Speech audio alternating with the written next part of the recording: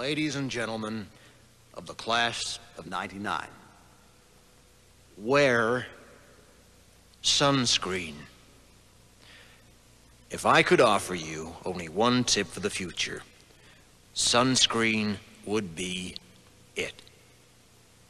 The long-term benefits of sunscreen have been proved by scientists, whereas the rest of my advice has no basis more reliable than my own meandering experience. I will dispense this advice now. Enjoy the power and beauty of your youth. Oh, never mind. You will not understand the power and beauty of your youth until they've faded.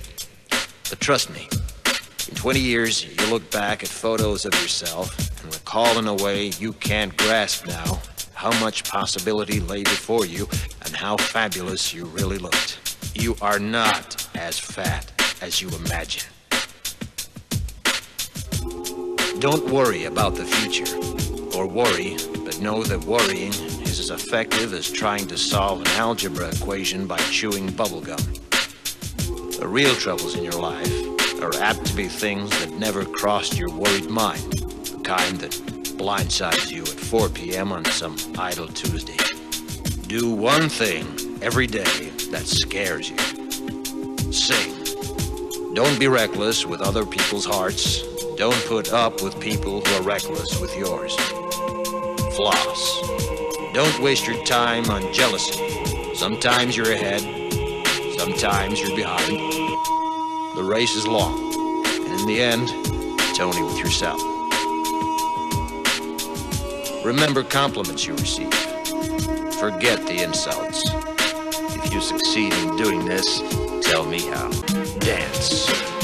Even if you have nowhere to do it but in your own living room.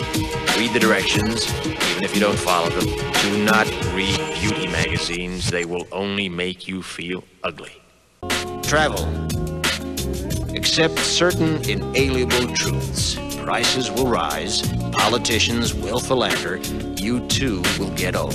And when you do, you'll fantasize that when you were young, prices were reasonable, politicians were noble, and children respected their elders. Respect your elders.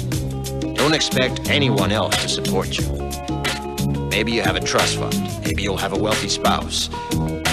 But you never know when either one might run out. Don't mess too much with your hair, or by the time you're 40, it will look 85.